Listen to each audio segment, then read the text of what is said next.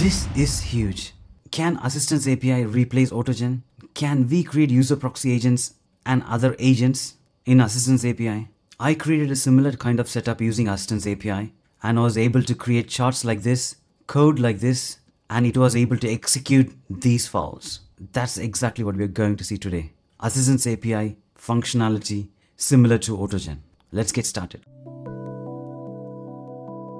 Hi everyone, I'm really excited to show you about Assistants API with user proxy and a coding agent. This is going to run similar to AutoGen where it can create files, run the files and give us the output. I'm going to take you through step by step on how we can build this so that you can extend this further. Before going into that, I regularly create videos on my YouTube channel in regards to artificial intelligence. So do subscribe and stay tuned. Coming to Assistants API, we will use the function calling ability. We create an assistant first, then we create a thread, then we add a message to the thread, and finally we run with get stock price function calling. I've already covered this in a previous video, which I will link that in the description below. We are going to extend this further to add agents. This is the setup we are going to create. First, we are going to create coding agent, which has the capability to save code in a file and also run the file. Next, we are going to create user proxy agent. This can provide instruction to the coding agent to perform a task. First, let's create the coding agent. Coming to the code, I'm going to rename this as coding agent. It's advanced programming AI. Your expertise lies in developing precise Python scripts. Ensure that the files are aptly named and Python code is meticulously crafted with necessary imports. Execute required code prior to providing a response to the user. That's the prompt we provide. Now we need to create two tools. One is save code in file and then run the file. To do that, we need to change this tools list. Currently, the tools list contains get stock price and the function is get stock price. Now we are going to delete this function and then create create file function. This function will receive a file name and a body text. The body text will be going inside the file and saving it. Next, we are going to run the file. Here, we are using subprocess. At the top, we are going to import subprocess, import subprocess and subprocess.run and it will automatically run the file which was created in the previous stage. Now we have created two functions, create file and run file. Now we need to create the custom function definition similar to this.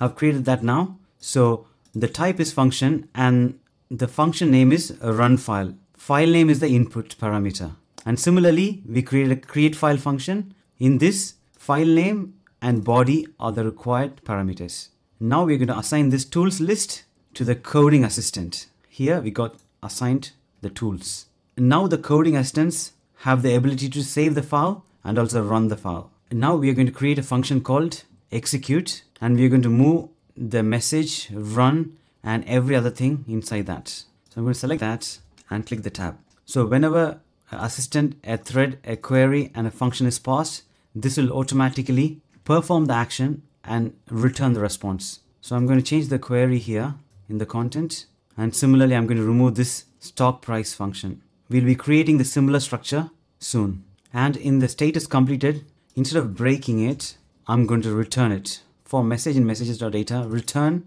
the text value if the role is user. That's it, few changes in the function. Now we are going to move this creating a coding assistant and the thread inside the main function. So coming to the bottom, if if name equals main, we are pasting that code. Now we have just restructured the code, keeping the coding assistant and the thread in the main function and remaining everything in a separate function so that we can call whenever required. Now coming to the user proxy, we need to create a user proxy agent and also we need to create a function called provide instruction. Providing instruction function is for providing instruction to the coding agent to perform a task. Here I'm creating user proxy equals the client.beta.assistants.create user proxy agent. Your role as a user proxy agent is to facilitate smooth communication between the user and other agents. We have created a user proxy now. Now we need to create a function called provide instruction and define the function calling definition. I'm going at the top, define provide instruction and passing the query. And then we are defining the list of agents. And in this case, we are using a coding assistant and we are passing assistant, thread and the function. Query is the instruction from the user proxy agent and it will activate the coding assistant to perform the functions using the query it sends. For the first time, if the coding assistant doesn't have a thread, it will automatically create a thread in this line. We need to define a global agents at the top. Agents equals an empty bracket. Now we need to define user proxy tools list, which has the type function and the name provide instruction and the only required field is query. Now we need to pass this tools list to the user proxy, comma tools equals user proxy list. Now we have also created user proxy agent with provide instruction function. Now we need to initiate the chat. To do that, I'm going to define the list of functions, which is run file and create file. Then I'm going to define the agents list, which is coding assistant with agent, coding agent, thread is none and the functions. We can create multiple agents in this list. Now I'm creating only one agent. Here you can see how far it can be extended. Now I'm going to get an input from the user while true. Query input is user and then user proxy functions is provide instruction. Next we are asking it to execute with the user proxy, thread, the query and the user proxy function. And this is the first step. That's it. As a quick summary, first up, we have created coding assistant with two tools. One is to create file, another one is execute file functions. Next, we created user proxy. This user proxy is capable of activating this coding agent using the provide instruction function. Inside the provide instruction, the coding assistant agent is activated by the execute function. So it's an execution within another execution. User proxy itself an execution and that user proxy is again executing one more time and then it's returning the message. That's it. Now we can run the code in your terminal python agents.py and click enter. Plot a chart of Apple stock price and save it to stock underscore and click enter. Now we can see the status got queued. It's function calling with the arguments query and the provide instruction. Unfortunately, I cannot execute Python scripts myself. Maybe we might need to change the prompt slightly. I'm going to try and see. I'm going to cancel this. Here it says runs a Python script. I'm going to change that to execute and running that again typing the same prompt again. Now I can see the create file function got triggered. That means a file will get created stock price underscore plot.py, which we can see that here on the left hand side. And I can see the code as well. I can see a big back and forth conversation between those agents. I got a response here that it was not able to perform the action. But I can see at least the file got created. Maybe because the pandas data reader is not there, it was not able to perform the task. I'm going to try that again. Try again with few imports.